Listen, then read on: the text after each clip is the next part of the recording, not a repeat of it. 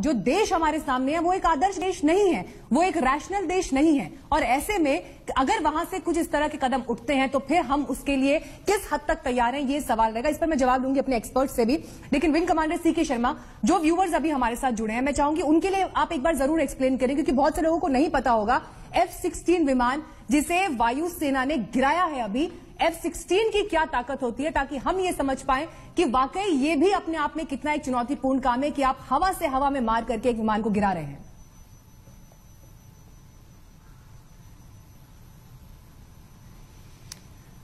F sixteen बहुत ही उम्दा हवाई जहाज़ है और काफ़ी पुरानी टेक्नोलॉजी के साथ शुरू हुआ था लेकिन अमेरिका इस, उस टेक्नोलॉजी को अपडेट करता रहता है। और जो पाकिस्तान के पास इस समय जो एफ़ सिक्सटीन है वो अच्छी क्वालिटी वाले हैं। लेकिन अंत में बात वही आ जाती है कि उनके जो पायलट हैं उनकी ट्रेनिंग कैसी है? उनको उन, उन, उनके दिल में क्या कितनी हवस है कि हम अ, अ, अ, पूरा पूरा लड़ सकें? या उनको उनके दिल में ये है कि हमें कहाँ लैंड मिल जाएगी क्यों- क्यों- क्योंकि हम सर्विस में आ गए हैं। सो so, बहुत अंतर है पाकिस्तानी पायलट की एटीट्यूड में और इंडियन पायलट की एटीट्यूड में।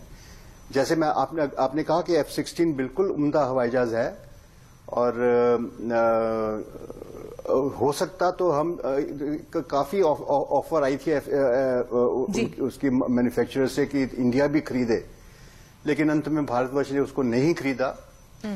और अ, अ, ट्रेनिंग की बात आती है कि भाई कि, कि उसकी उनकी उनकी ट्रेनिंग के किस लेवल पे है और ट्रेनिंग ट्रेनिंग होती। ह्यूमंस की। ये ये अपने आप तो में आप बहुत ये अहम समझ पॉइंट जाइए कि आपने जो यहाँ पर अपनी उठाया। भारत भारतीय एयरफोर्स की जो ट्रेनिंग है वो बहुत ही exactly major general AGP Jaini देखिए ये